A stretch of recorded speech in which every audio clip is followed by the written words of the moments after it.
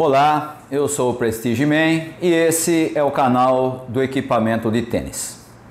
Nosso assunto de hoje são os chamados bumper guards, que são essa peça plástica que normalmente tem na cabeça da raquete, seguida dos grommets, que são os tubinhos por onde passam a corda, as cordas, né? e acompanhado também da terceira parte que é a continuação do bumper guard, que é a parte inferior aqui no coração da raquete, onde também passa a corda.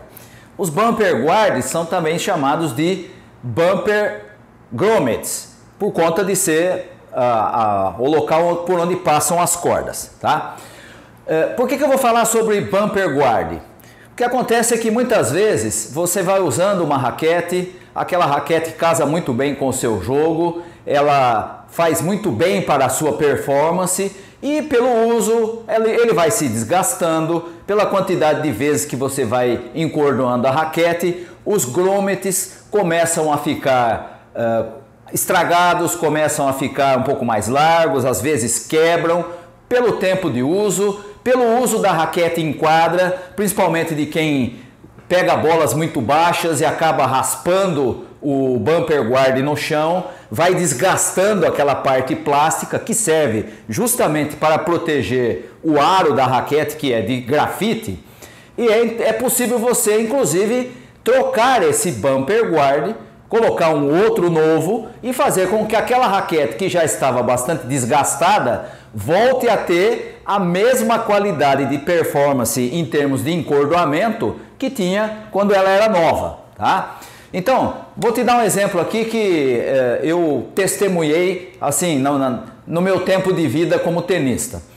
Há anos atrás, quando eu comecei a fazer aula de tênis, o meu professor usava uma raquete da Wilson, o Wilson Pro Staff, e ele tinha um hábito muito interessante. Ele sempre usava o mesmo lado da raquete, ele não virava do outro lado. E aí, por conta de pegar bolas baixas no chão, só um lado da raquete estava todo comido, né, ralado, e o outro lado você olhava estava novinho. Né? E aí o que, que acontecia? Você tinha uma raquete que a proteção estava totalmente desgastada, já estava começando a desgastar o material do próprio aro, né? por conta do uso, ele sempre usava, dava aula, então usava num período muito longo e muito tempo usando em quadra, né? E aí o que acontecia? A raquete começava a apresentar problemas de estrutura por conta do seu desgaste. E aí então ele poderia resolver sem grandes problemas trocando o bumper guard, tá? Eu vou mostrar para você, existem vários tipos diferentes, mas eu vou mostrar para você aqui os que são mais comuns, os mais usuais, tá? O mais comum de todos eles é esse tipo aqui, que é um que vem na parte de cima, ele já vem com os grommets, né? e depois tem a parte lateral, que você coloca nas laterais, e a parte de baixo. Né? Então essa aqui está em 2, 4, 6 partes. Essa é uma das mais comuns. Né? Uma outra uh, forma de se fazer, é aquela, essa aqui que eu mostrei primeiro é da Volco. Essa aqui é uma, um bumper guarder da Red. Esse aqui já é diferente. Ele tem a parte superior sem nada, sem os grommets. E você tem o grommet que passa por cima dele até chegar na, no final da, da lateral da raquete. E aí a parte de baixo também tem que colocar. Né? Então essa aqui são em quatro partes em vez de uh, seis como aquela ali.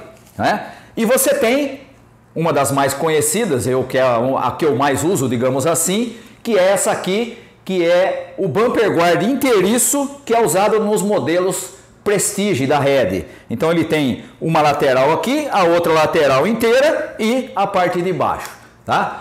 Existem outros modelos, por exemplo, a Prince tem algumas raquetes que tem furos na lateral, começou com a O3, depois virou Speedport e foi mudando a nomenclatura, mas é uma outra forma porque o bumper guard segue né, aquela parte dos furos e em alguns casos só tem a proteção em cima e a parte de baixo e na lateral aqui a corda passa direto na própria no próprio aro, tá? Então são variações do bumper guard.